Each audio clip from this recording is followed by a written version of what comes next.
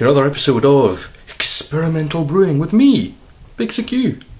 Today on Experimental Brewing, we're going to be harvesting yeast from bottle conditioned commercial beers. Now, I can't take credit for this idea. I mean, loads of guys have had this idea over the years, loads of homebrewers, but the guy who inspired me to do it is somebody called Brewmaster Ben, and he's from the UK like me, from down south down there in, in England. And he did a couple. He did Sierra Nevada and a British ale called GB that I'm not entirely sure which brewery it was from, etc. But anyway. So I decided to do a different one, slightly different. I'm going to be doing the Torpedo from Sierra Nevada. I want to harvest yeast out of here. I've got three. If you're going to do it, you might as well do it properly after all. If you're going to try doing this, you need to do it using a beer that's been bottle conditioned, i.e., homebrewers, when we bottle, generally we're not force carbonating. We're putting a bit of yeast into the bottle, some sugars for the yeast to eat, and then we're putting a cap on it. And because there's a cap on it, the yeast eats the sugars in the bottle, and all the carbonation goes to the top. And but then it can't get at the top because there, look, there's a cap on the top, and the carbonation is forced back down into the liquid, which is what we enjoy when we drink a pint of beer, or lager, or ale, or whatever your poison happens to be. Let's have a quick look at some of the yeasties that we're going to try and culture. Yeah, very cultured culture. We have ways of making you talk. Talk, talk, Tommy Schweinhund. Okay, now look. Do you see all that? You see all that floating in the beer? That is what we want. And look on the bottom. See all that stuff on the bottom? That's a little bit of sediment that's settled. There we go. So, I'm going to pour about three quarters of each bottle into a glass and drink the hell out of that. Then I'm going to put it into a fermentation vessel that I have purchased especially, especially, have purchased this especially, especially for this experiment. Look, it's a one litre bottle of Evian or whatever, whatever spring water, whatever, yeah. Um, I've got loads and loads of fermentation vessels, but I thought for this one, I want something that's around about the size that I need for purpose. Also, I'm going to be culturing my yeast in label out some DME. Oh, matron. Dry malt extract. First stage, pour myself a beer. Thank you very much, I don't mind if I do.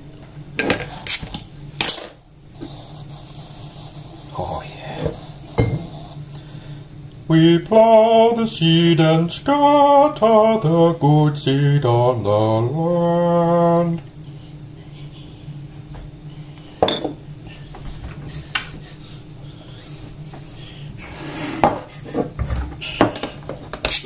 Oh no, I need a second pint glass. Say it ain't so. There we go. Right, a couple of delicious beers. But as you can see I'm left with a little bit in each bottle. And I should be left with hopefully the majority of the sediment i.e. the yeast that's uh, settled on the bottom of each bottle. right now the next bit is to shove some DME into that bottle get it all sugared up with the beer. That's it. Just leave it next to a radiator after that. Hopefully it stays warm enough and then you're looking for the bubbles. I love the bubbles, the bubbles you would normally see in the champagne. Champagne. Right, here we go. Brand new. Just taking the label off the water. It's going to be sterile inside. And as you can see, the top, if I leave it maybe like that, there'll be enough for gas to get out, but nothing's going to get in there. I'm not going to be anal about this, but uh, for the most part, I'm sure it'll be fine. So we'll take the top off just to get the water out. Goodbye, lovely French spring water. Right, now we want some DME in there. Oh, yuck. Oh, yuck, it's all sticky. It's all sticky! Shouldn't be sticky. Why is it sticky? Right. Put some in here. Nothing too major. It's only a starter after all. Right. Got a little bit of DME in the bottom of here. I'm now going to shove in my beer, my torpedo beer from Sierra Nevada. Now I'm going to try and do a kind of a swirly thing at the same time for mixing purposes.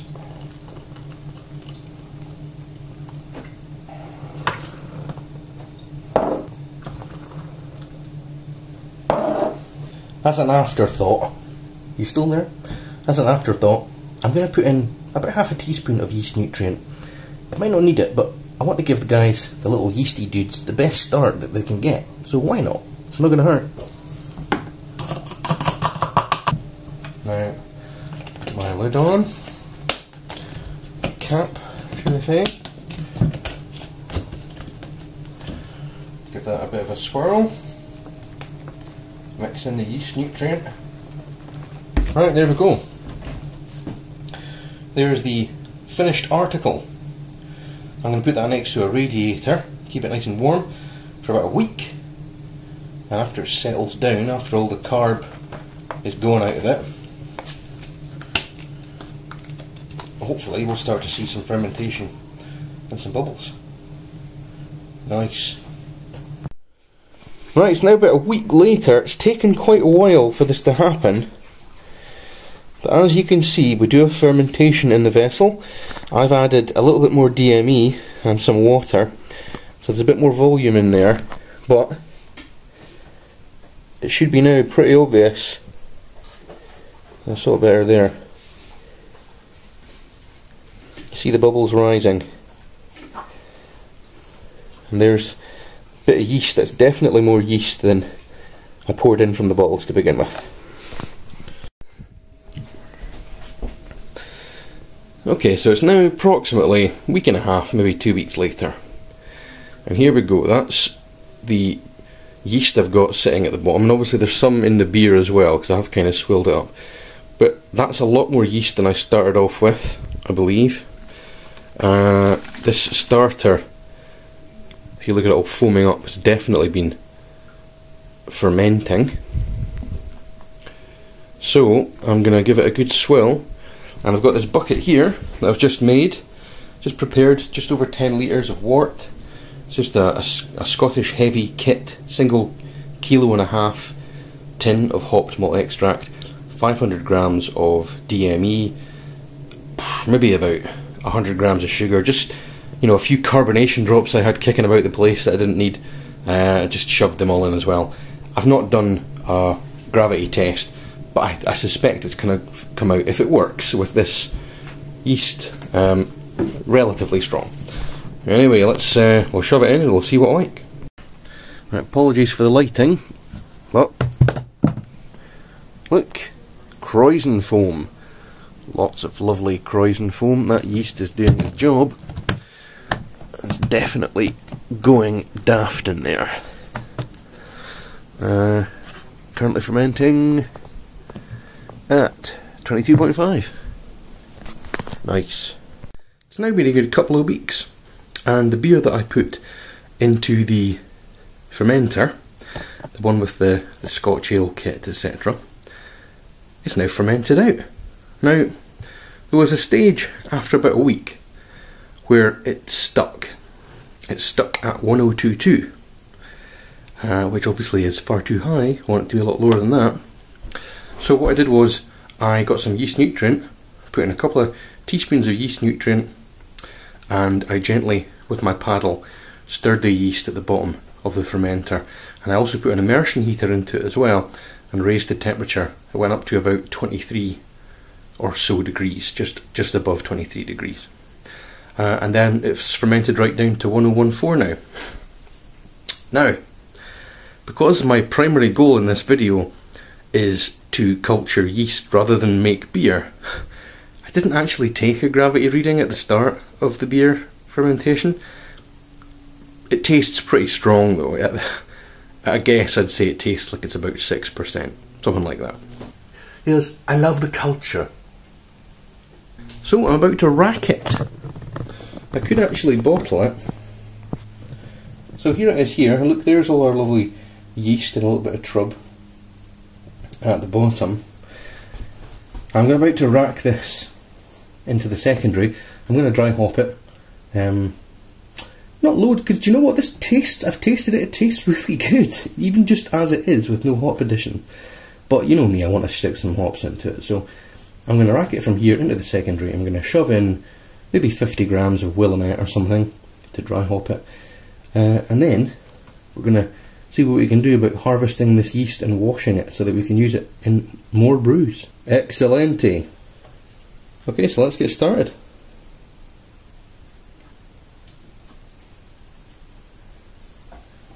Okay, there we go. We're siphoning. Don't fear the foam.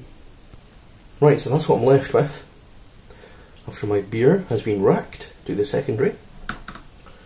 I can already see what is probably the most viable yeast, which is the stuff that's, look, rolling about there at the bottom. It's mixed with a little bit of the leftover beer. And then you've got the trub following behind.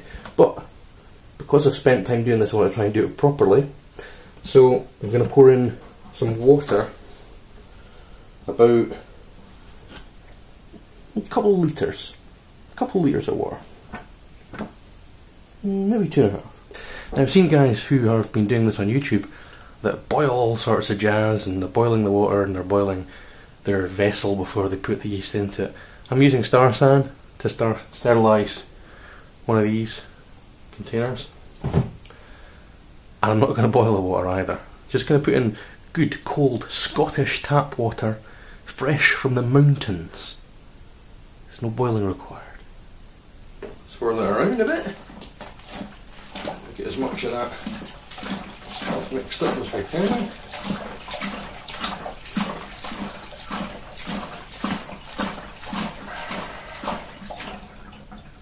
Don't fear the foam. Look how much foam there is.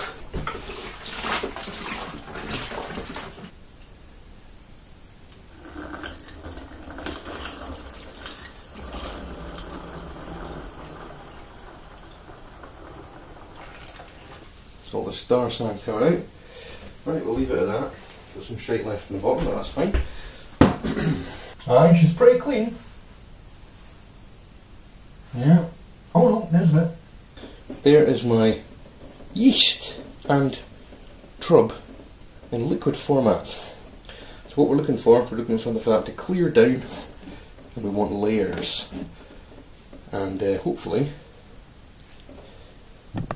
manage to get some viable yeast out of that for my next brew. Right, so it's been about an hour and my container has cleared down. I'm not sure if you can really see this line here, whilst it technically is a groove in the bottle, strangely the gunk, all the trub, is coming up to that line. So there it is there. Everything else should be yeast and water. Now a lot of guys would put all this yeasty water in jars. I don't have any jars. I'm not really about jars. So I'm going to use some Star San bottles that I've got. Let's fire that in now. Got to be careful.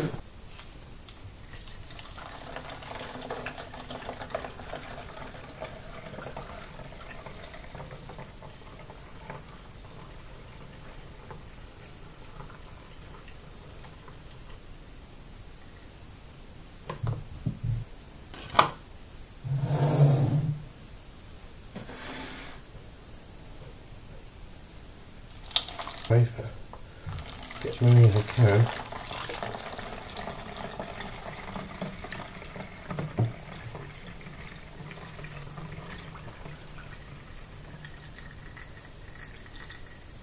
Three.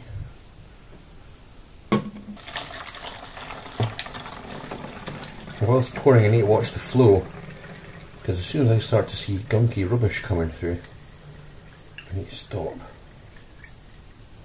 Might get number five.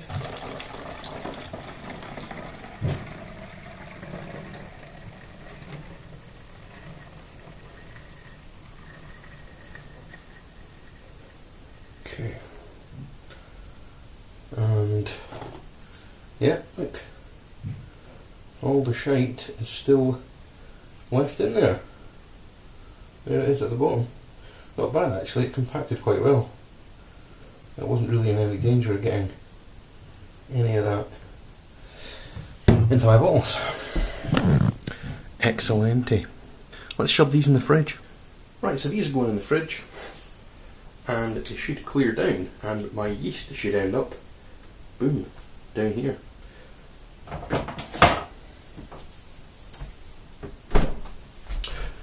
We'll come back to that when they've cleared down a bit. It's 24 hours later and the yeast is now well and truly washed. Look, I've got five bottles down here, and here we go. See? Look at the yeast in the bottom of them. Obviously, this is just water, essentially, with a bit of colour from the leftover beer. But look, five of those, and look how clean and white and creamy that yeast looks. That that was grown from three bottles of Sierra Nevada Torpedo. Just tiny little flakes that came out the bottom of the bottles. Now I've got five that look like that. That's a pretty serious amount of yeast just in the bottom of one bottle. And I've got five. Look at that. Nice.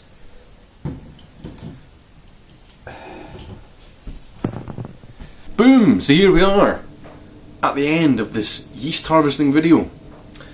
Let's have a look at the final product, the beer that I've got from harvesting the yeast. Here's a bottle here. As you know, it's a Scotch ale. I haven't named it, I haven't given it a particular name, it's just being called Scotch ale. Kinda calling your dog dog. Now it's carbed, it's been in the bottle about three weeks now. Let's have a listen and see whether it's going to hiss for us.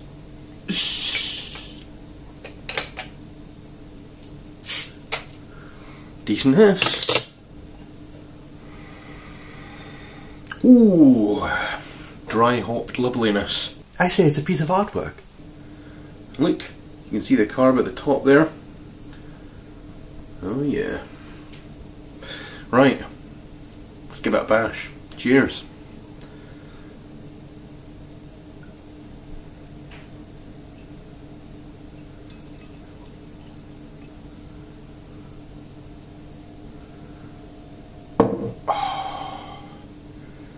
Oh, oh, look at that. Now, it's clear. Maybe not entirely crystal clear, but look at that. See that? Decent carbonation on it. So I dry hop this with Willamette. And you can smell that on the nose. It's got a, mm, not quite a two finger head one thick finger head maybe right